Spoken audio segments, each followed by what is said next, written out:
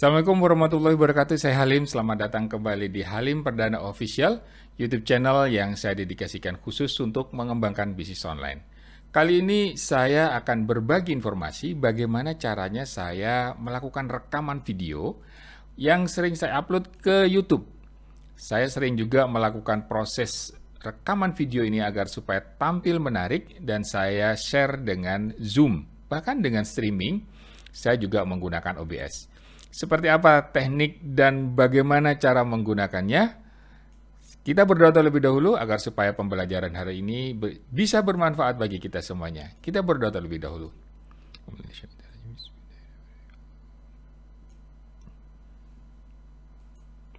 Amin ya Allah. Baiklah, terima kasih telah bersedia berdoa. Langsung saya menuju ke uh, layar dari OBS. Seperti ini, layar OBS. Ini adalah tampilan OBS dan ini adalah uh, scene yang pertama. Saya setiap kali melakukan uh, tampilan di YouTube itu menggunakan banyak scene. Scene itu apa ya? Kalau uh, sketsa lah, sketsa. Jadi scene pertama tentang prolog. Kemudian scene yang kedua, ini adalah scene yang kedua. Saya menampilkan gambar tentang uh, di belakangnya ada chrome-nya. Kalau scene yang ketiga, saya ya saya mengecil, saya kecilkan gambar saya. Itu adalah scene yang ketiga. Baiklah, jadi saya memang memindah-mindahkan scene dan hanya dengan menggunakan kursor. Poin yang berikutnya, dalam satu scene, dalam satu sketsa, itu isinya apa saja? Dalam satu sketsa, khususnya untuk yang layar ada asap berwarna kuning, ini isinya pertama adalah logo Halim Perdana Official. Ini ada logonya, kemudian logonya seperti ini. Nah, ini adalah tampilan eh, yang saya mat menampilkan, kemudian saya nonaktifkan. Ini adalah judul, judul dari artikel, art, judul dari video yang saya buat. Kemudian yang berikutnya, saya dalam satu scene ini ada frame, frame warna putih. Kalau saya aktifkan seperti ini dan nonaktifkan seperti ini, berikutnya adalah spektrum. Spektrum kalau saya berbicara ada ada gambar-gambar warna putih di sini. Nah, itu adalah spektrum. Dan spektrum ini ada toolsnya plugin free.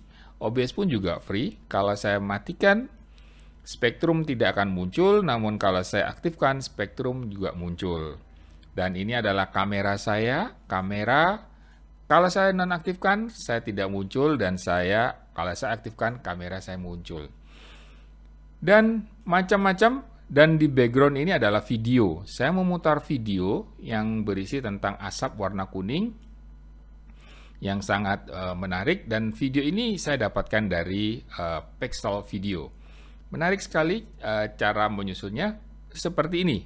Teknik-teknik penyusunannya. Pertama, kalau seandainya saya langsung menuju yang di sini aja, yang full screen, saya akan mengisi karena di belakang ini saya sudah ada Chrome, saya hapus saja dulu Chrome-nya.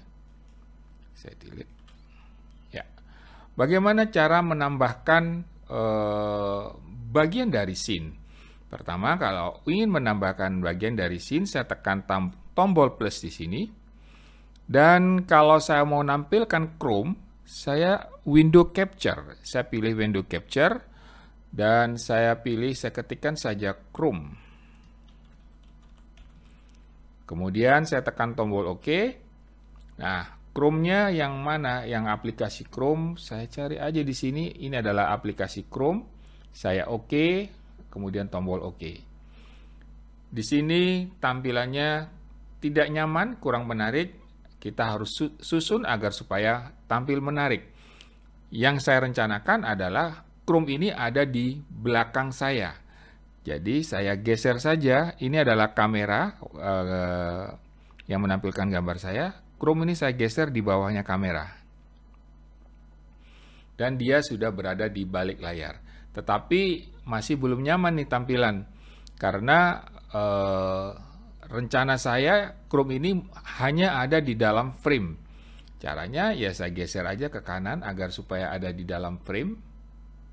Ya ini sudah kira-kira sudah ada dalam frame, kemudian saya geser, iya, seperti ini, dan layar di paling atas ini, saya tekan tombol Alt, kemudian digeser. Jadi terpotong. Kemudian untuk yang bagian bawahnya, agar supaya menarik, tekan tombol Alt juga, digeser aja dulu sementara. Kemudian kita susun. Ya, di sini sudah tampil menarik, kemudian uh, dia uh, apa namanya lock di di kunci tidak bisa digeser-geser lagi. Nah sekarang saya sudah seakan-akan tampil di depan uh, depan Chrome aplikasi Chrome, kemudian ada frame warna putih, backgroundnya uh, hitam. Rasanya kurang menarik karena frame ini harusnya berwarna put hitam dan di balik layarnya ini backgroundnya warna putih. Saya ganti saja backgroundnya, caranya sangat sederhana sekali. Saya tambahkan, saya tambahkan ini uh, image dan image-nya ini adalah berwarna putih. Image white misalkan. Oke, saya cari gambar yang berwarna putih. Saya sudah siapkan di image big uh, saya cari terlebih dahulu white background ini dia oh ini white frame white background jangan-jangan ada di bawah seingat saya sih ada di bawah ini pak white background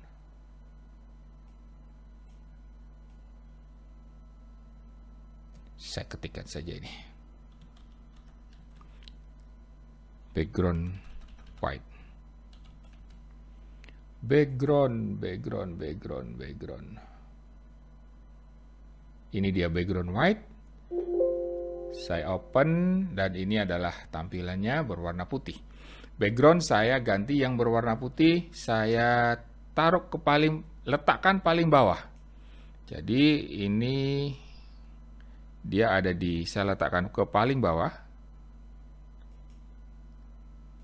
karena dia adalah background ya taruh paling terakhir sedangkan Halim official ini taruh di atas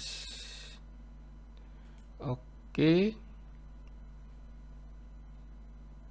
Ya white sudah di paling belakang kemudian saya penuhin kemudian saya turunin agar supaya tampilan menarik. Ya seperti ini. Ya selesai. Ini sudah tampilan white-nya sudah oke okay, saya lock. Kemudian uh, frame-nya saya ganti menjadi berwarna hitam ini adalah cara permainan-permainannya menarik untuk menata ganti uh, frame black black frame. Oke, sudah ah, menarik di sini sudah berwarna hitam. Kemudian ini ada Spectrum. Spectrum ini adalah aplikasi plugin. Pluginnya sangat menarik, eh, gratis di sini pluginnya. Dan ini adalah posisinya di sini. Nanti saya jelaskan semuanya. Bagaimana cara install plugin, uh, install uh, plugin uh, apa ini Spectrum akan saya jelaskan semuanya. Saya klik di sini dulu, saya ganti warna menjadi warna hitam. Oke. Saya tekan tengah oke. Nah, ini kelihatan sudah cukup menarik. Kalau seandainya diganti dengan warna yang lain, boleh silakan uh, tinggal dipilih-pilih. Sekarang bagaimana caranya install uh, eh, OBS? Untuk install OBS, ketikkan saja OBS download di Chrome seperti ini OBS download. Kemudian klik di sini dan download OBS Studio. Saya download OBS Studio. Pilihannya banyak, bisa digunakan khusus untuk uh, Apple, bisa Windows, bisa ini apa logo-logo apa sih ini namanya? Saya lupa ini. Saya download yang uh, Windows Kemudian download installernya, saya yang 32 bit di sini download. Saya simpan di start download. Ya. Setelah itu tinggal install saja aplikasi ini sehingga uh, aplikasinya tampak pada saat seperti ini dan ini tidak ada hal yang unik pada saat install. Sangat sederhana sekali cara installnya. Kalau sudah terinstall, tampilannya seperti ini. Demikian secara singkat terlebih dahulu pengenalan bagaimana cara menggunakan OBS. Berikutnya, saya akan pandu lebih detail lagi bagaimana cara streaming, bagaimana cara digandengkan dengan Zoom, dan lain sebagainya. Tahap awal kita tekniknya adalah install terlebih dahulu, hanya download dan diinstal langsung aja. Sekian, terima kasih. Wassalamualaikum warahmatullahi wabarakatuh. Tetap sehat ya.